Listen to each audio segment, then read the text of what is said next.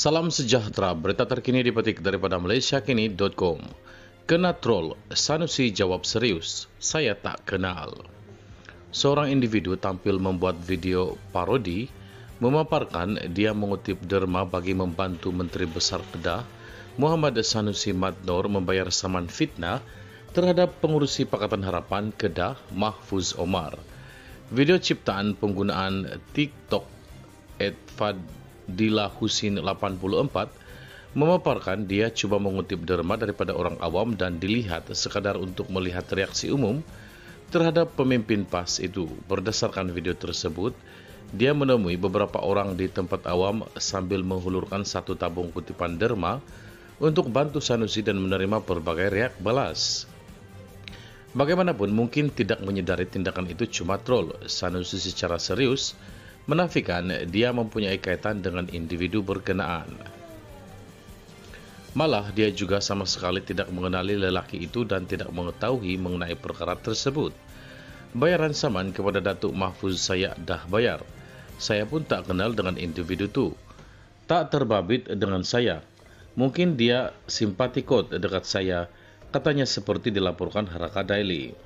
Dia berkata demikian ketika ditanya mengenai video yang tular di media sosial melalui aplikasi TikTok itu. Pada akhir video itu, individu berkenaan turut menasihati Muhammad Sanusi agar berusaha membayar samannya sendiri. Pada 9 Oktober 2019, Mahfuz bekas ahli parlimen pokok Sena menyaman Sanusi berhubung hantaran melalui akaun Facebooknya pada 30 Julai tahun yang sama yang mengaitkan dia dalam isu pemindahan permis judi ke kawasan itu. 3 April lalu, Sanusi gagal dalam rayuan saman fitnah berkenaan selain Mahfuz memohon menaikkan saman terbabit daripada RM50.000 kepada RM120.000.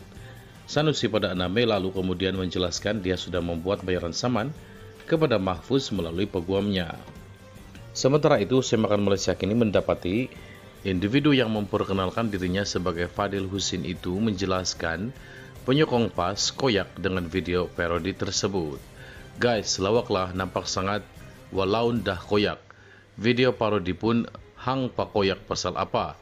MB Kedah sendiri ada cakap, panai tak apa jangan koyak.